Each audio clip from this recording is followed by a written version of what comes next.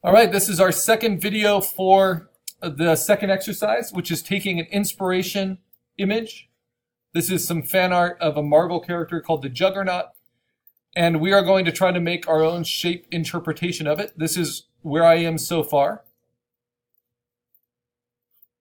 Now, this all is predicated on an illustration concept called basic shapes. That no matter how complex, here I have the image open in preview, I'm going to copy it, select it all and copy it. And this is all kind of extra just to show you. No matter how complex a two-dimensional image is, it can be a photograph of rose bushes, it can be um, a city skyline, it can be a chain link fence, right? No matter how complex a two-dimensional shape is, it is made up of smaller, simpler shapes. And we call those shapes simple shapes in illustration.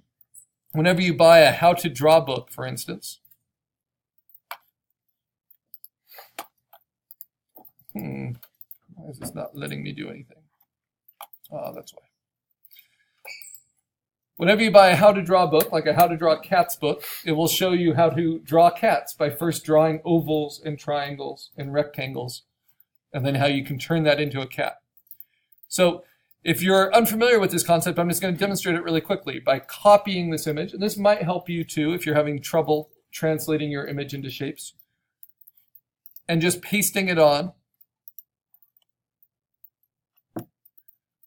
And then I'm going to take its opacity down to about 50%. This is like putting tracing paper over the top.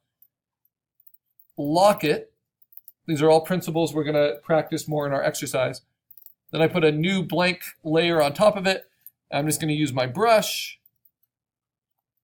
And I'm going to use just a really basic brush that's pressure sensitive. At a high opacity and not so large because this is not a high, high resolution image. And if I wanted to draw this image for myself, I would not start by drawing the details of the eye. That would be a mistake. Instead, if I were to draw this for myself, I would start with the really big shapes. So I have a big oval there. I have what's called a wedge shape here, which is like a triangle with its head cut off. I have a rectangle here, an oval here. The head is half of an oval, right? And it's cut off. So it's basically a circle. And then I might put guidelines on it to show where the eyes actually go. And the eyes themselves are just, can be simplified as triangles. And the mouth is an oval. And there's a big wedge here. So I'm going for the biggest shapes first, even though they overlap each other. And then this huge circle for that thigh, and this huge oval for that other thigh, and over and over again just like in a how to draw book. And then the foot can be broken into a wedge shape and a triangle. And then this is just definitely a wedge. And then this fist, you have a triangle here and then a square. Oval on top. So those are the basic shapes of this juggernaut. And then I just missed this big circle here, which shows the forearm coming forward. And already, just through those really simple shapes, and these are the basic shapes, I'll do them in a different color. They are square, rectangle, circle, oval or ellipse, triangle, and then the one specialized one is the wedge, which is a triangle with its head cut off. But if you needed to, you can make it out of three triangles. Right? And if you layer those six shapes on top of each other, you can make any two-dimensional image you want. Right? And then, of course, if you divide those shapes with these kind of guidelines, like to find where his chest is or where his waist is, and this is how character designers work, it's how prop designers work, it's how creature designers work, it's how vehicle designers work. Um, you can bring that up and make it into anything. just to show you. This is often how people learn to draw, especially if they're interested in illustration. So I'll fill this layer with white and just show you the character I drew all the time as a kid, Garfield, clearly just made of basic shapes, right? Circles, divided, big oval, little oval, little circles, big circles, half ovals. Lots of ovals because he's an organic character, right? And then as he's aged, Jim Davis, his creator, has kind of made his head a little bit more wedge shaped than oval. And then you just put in little details to kind of finish it off. Now, the beauty of basic shapes is it helps you be consistent. So it's not just copying one image once. It helps you make that character in different angles. So if Garfield's looking up, I use those same shapes, right? But just in a slightly different orientation. And then I can even play with some of them, like he has his mouth open and his eyes wide.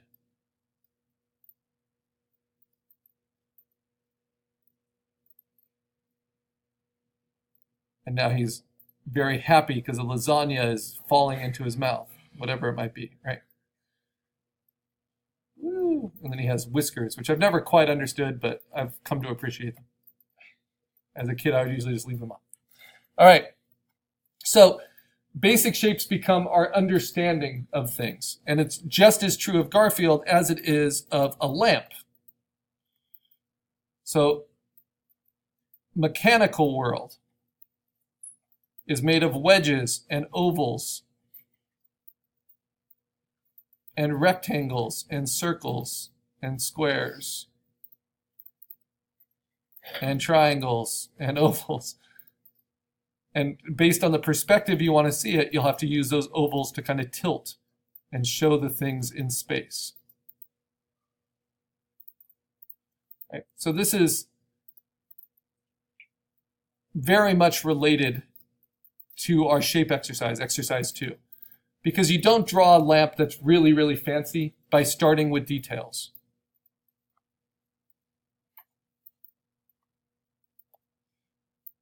So if I'm doing like a Louis the, the 15th Rococo lamp, and I have the shade, and the shade is flared out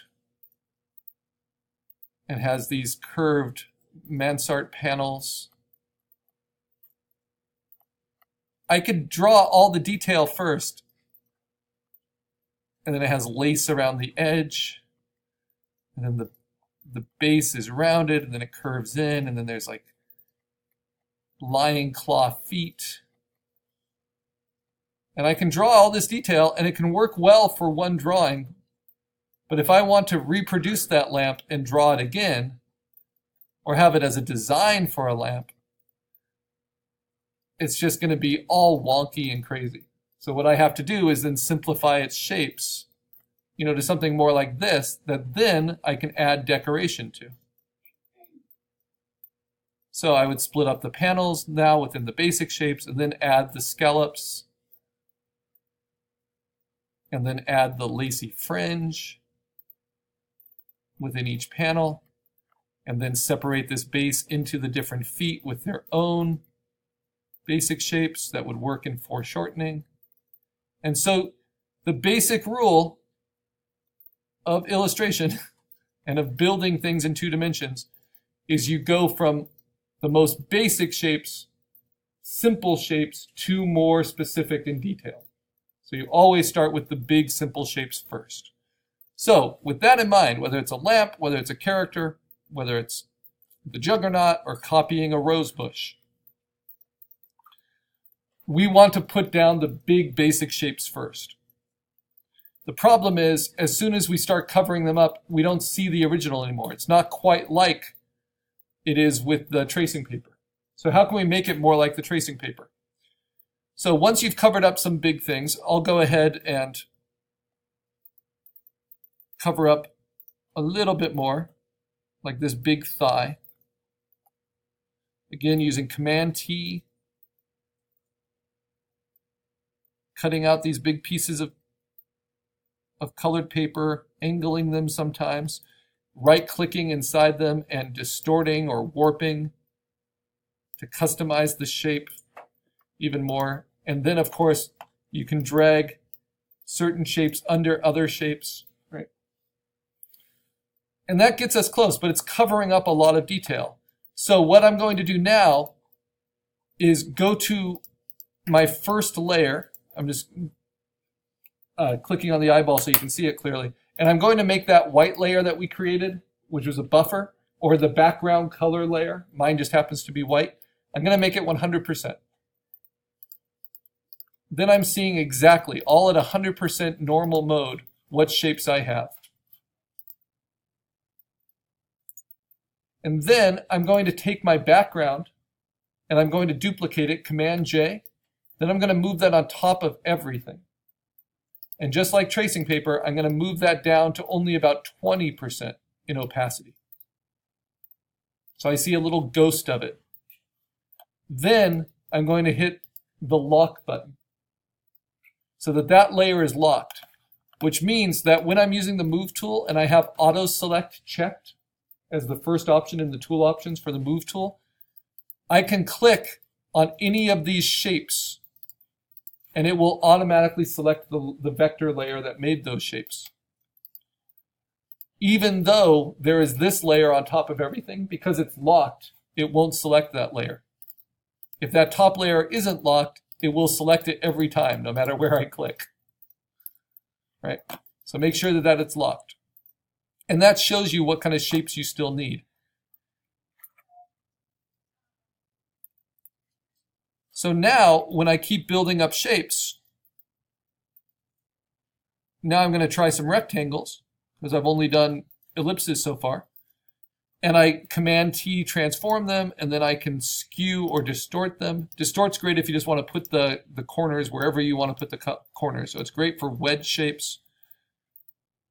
It's great for um, for having things overlap, right? So I can combine that shape with an ellipse, just a very shallow ellipse here, and tilt it to get the bracelet on that side.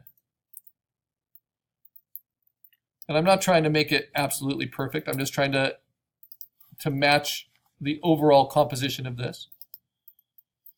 And then this square hand, you know, it's just a lot of repetition of these skills we're learning. So how do I pick that color? Well, what I can do is go to my background layer, unlock it, put it up to 100%, and steal the color from it, like we've been doing. Then take it down to 20%, but that's a pain. So the much easier way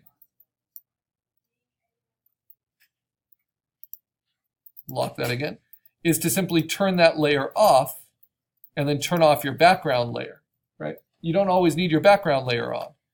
And that way you can still steal colors that you need while being informed by the lock layer on top that will show you what the shape should be. And then if I use distort, I can put the corners of this rectangular shape anywhere I want. Now what if you want a triangle shape? That is possible within the vector shapes in Photoshop, but it's not too intuitive, right? Also, I just made that kind of wedge shape. If I hit Command J, it will give me a duplicate of that shape, and I can make my thumb out of that. Remember, I'm going for basic first. And I could use a rounded ellipse tool or a rounded rectangle tool. But that's just really finishing details. And all I have to do to see my, my layers and how they're working is turn off that top layer.